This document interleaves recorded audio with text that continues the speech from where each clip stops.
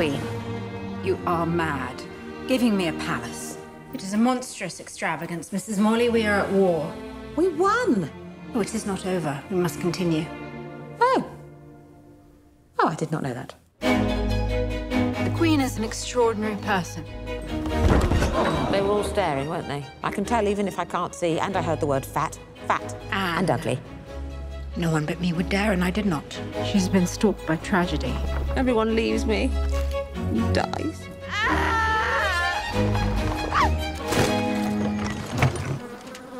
I apologize for my appearance. I hoped I might be employed here by you.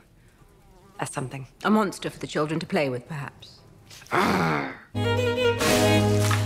It is important to make new friends in court, is it not? You're so beautiful. Stop it, don't you mock me. If I were a man, I would ravish you. You have become close to Abigail. She is a viper. You're jealous. You must send Abigail away. I do not want to. Let's shoot something. Sometimes it is hard to remember whether you have loaded the pellet or not. I must take control of my circumstance. Row! I'm on my side. Always. Favor is a breeze that shifts direction all the time.